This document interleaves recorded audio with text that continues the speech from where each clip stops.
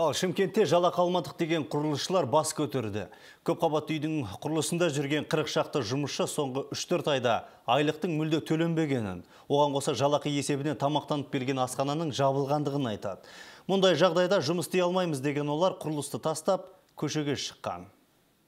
квартираның бөлмелері біткен осының ақшаларын алуымыз керек біз Шымкенттегі көпқабатты үйдің құрылысшылары жалақы көрмегелі төрт айдың жүзі болды деп отыр.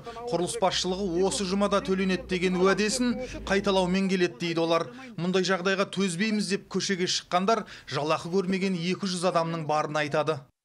бүгін тамақты да тоқтатып тастады ал бұл жерде олардың мақсаты бұлар кетуіміз керек біз тастап кетуіміз керек болды пятницаға дейін береміз деп айтады енді бірақ енді осынша пятница күттік қой төрт ай деген сұмдық қой ол енді бала шағамыз төрт айдан бері не жеп не ішіп отыр оны ешкім ойлап отқан жоқ Ал құрылыс жүріп жатқан нысанға жолау мүмкін емес. Қақпалдына қойылған күзетші басшылық жоқ деп шығарып салды.